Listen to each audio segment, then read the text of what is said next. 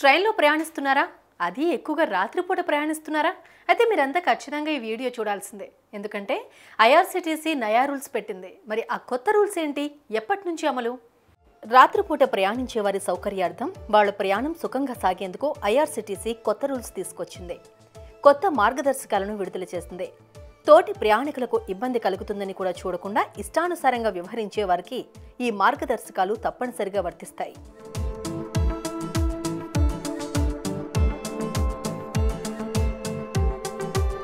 ప్రయాణికులు ప్రశాంతంగా ప్రయాణించడానికి ముఖ్యంగా రాత్రి సమయాల్లో ప్రయాణించే వారి కోసం ఐఆర్సిటీసీ ఈ రూల్స్ జారీ చేసింది.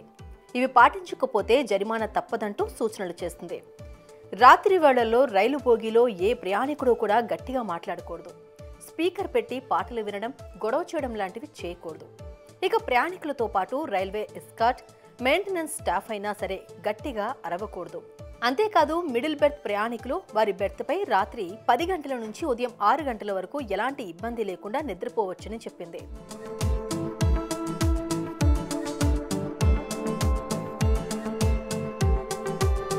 ప్రయాణికులకు కాకుండా టీసీ కూడా ఈ రూల్స్ పాటించాలని చెప్పింది. రాత్రి పది తర్వాత టీటీఈ టికెట్ చెక్ చేయకూడదు. ఒకవేళ పది తర్వాత ఎవరైనా ట్రైన్ ఎక్కితే వాళ్ళది మాత్రమే తనిఖీ చేయాలి. సీటు కేటాయించిన ప్రయాణికులు రాకపోతే ఆ సీటును వెంటనే ఆర్ఏసీ వచ్చిన వాళ్ళకి కేటాయించకూడదు. ఆ సీటు కేటాయించిన వ్యక్తులు రాకపోతే గంట తర్వాత లేదా రెండు స్టేషన్లు దాటాక మాత్రమే వేరే వారికి ఇవ్వాలి.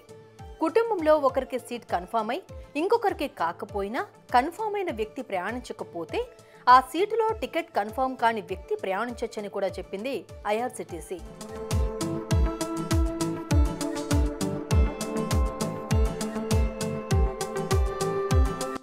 ఇక మనం ప్రయాణిస్తున్న కంపార్ట్మెంట్లో ఎవరైనా పాటలు పెట్టి ఇబ్బంది పెట్టడం కేకలు వేసి గోల చేయడం లాంటివి చేస్తే ఫిర్యాదు చేయొచ్చు. రైలులో ప్రయాణిస్తున్నప్పుడు తమ కోచులలో పాటలు వింటూ బిగ్గరగా మాట్లాడుతున్నారని ఇబ్బంది కలుగుతుందనే అంశంపై రైల్వే డిపార్ట్మెంట్కు చాలా కంప్లైంట్లు వచ్చిన నేపథ్యంలో ఈ నిర్ణయం తీసుకుంది ఐఆర్సీటీసీ. ఇక గాడ్ల వల్ల కూడా ఇబ్బందులు పడుతున్నామనే అంశం కూడా రావడంతో వాళ్ళకు సంబంధించి కొత్త రూల్స్ జారీ చేసినట్లు సంబంధిత అధికారులు చెప్పారు. ఇక ఈ కొత్త రూల్స్ గురించి తెలుసుకున్న వాళ్ళలో కొంతమంది ఆనందం వ్యక్తం చేస్తున్నారు. హాయిగా ప్రయాణించవచ్చు అంటున్నారు. ఇంకొందరు అది పబ్లిక్ ట్రాన్స్పోర్ట్ కాబట్టి ఎక్కే వాళ్ళు దిగే వాళ్ళతో పరిస్థితి అలానే ఉంటుంది అంటూ కామెంట్లు పెడుతున్నారు. మరి ఈ రూల్స్ గురించి మీరేమనుకుంటున్నారు? కామెంట్స్ రూపంలో పోస్ట్ చేయండి.